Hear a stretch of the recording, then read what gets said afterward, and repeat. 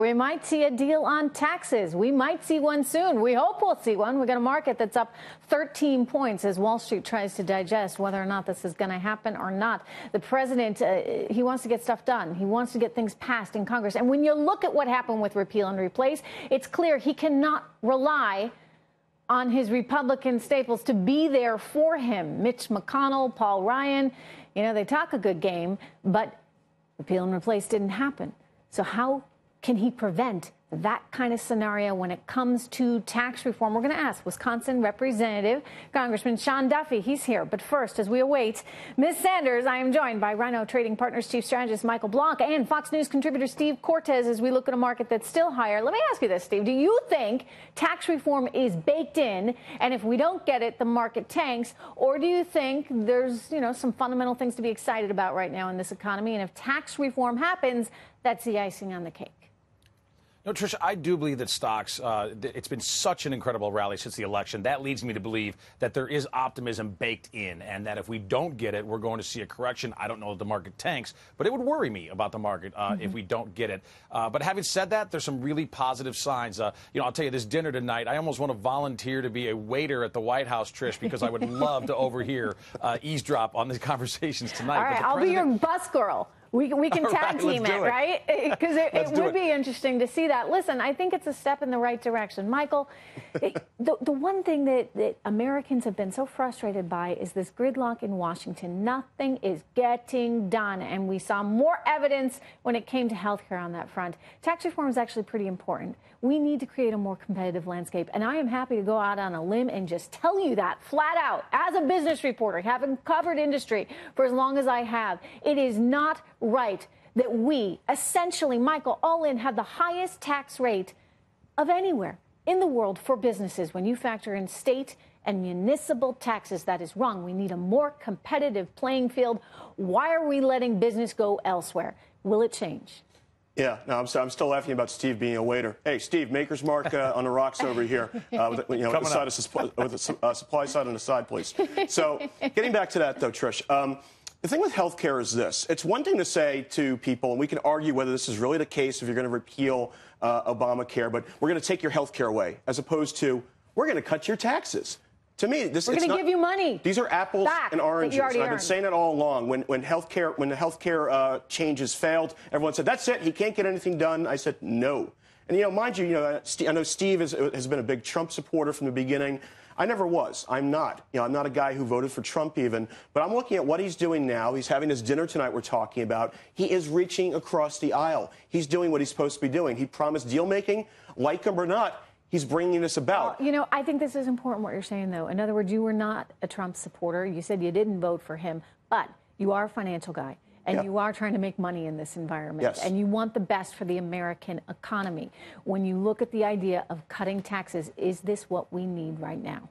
Yeah, I think this is going to be something that creates a halo effect. That's going to create confidence, business investment, investment in training people. People, are, companies are going to be motivated uh, to say, "Hey, we're going to spend more money now on training workers, mm-hmm. on capex, getting things going." We feel like this government has our back. We, they trust us, and we're going to trust them and do that. Is okay. it? Is it? And I would also say I don't think it's completely baked in as we were talking about.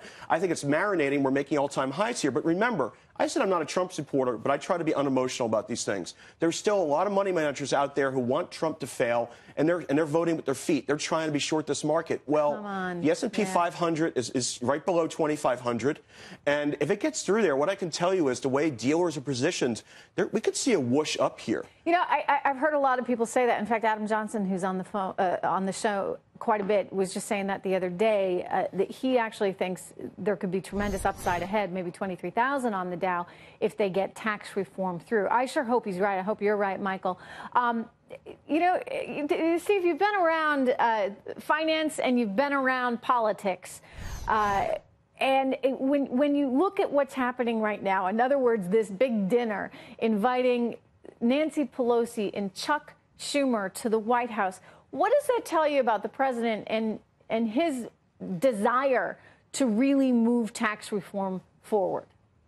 Right. Well, you know, I think it tells us a couple things. One is that in many ways, Donald Trump is really a post partisan president. Yes, he is a Republican, uh, but the Trump movement was not an, an, establishment movement of either party. It was its own party in many ways. And so I think he's showing us that. But even more importantly, uh, what he's putting symbolically forward uh, in front of the American people is just how important tax simplification and tax cuts are. Something we haven't done since 1986. 1986, I couldn't drive a car yet, Trish. That's how long ago that was. Mm-hmm. We so badly need this, and we need it most of all for the middle class. The wealthy have done well in this sluggish recovery that we've been in for a decade now. Middle class Americans have done terribly. I think that was the fuel politically yeah. for the Trump movement. Absolutely. But now it's not enough just to speak to them. He has to deliver. And how do we deliver? The quickest, best way simplify and cut taxes. You know, here's the reality, guys. We are living in an hourglass economy. I started talking about this um, back in 2001, believe it or not, uh, doing a story on what was increasingly looking like an hourglass economy. And we are effectively there. We just are. We have a lot of people on the top, we have a lot of people on the bottom and the middle class is getting squeezed. And by that, I mean people that are going to work every day and they're doing their darndest to save, but yet they're you know, a few hundred bucks away from real problems. And, and, they're the ones that get penalized because it's their kids that don't qualify for the financial aid for college. It's their families that won't qualify for the financial aid perhaps that they need because they've lost their home due to Hurricane Irma or Hurricane Harvey. I mean, it, it's, it's people that are out there working every day. And, and Michael, they really feel like they have been shortchanged in this economy because, you know, if you don't have anything, if you just say, I'm not going to bother, you'll get a check from the government or you'll get Medicare. But if you're out there working and you're struggling to save, your future's very uncertain and you got nothing to show for it here. Here's, here's what we need.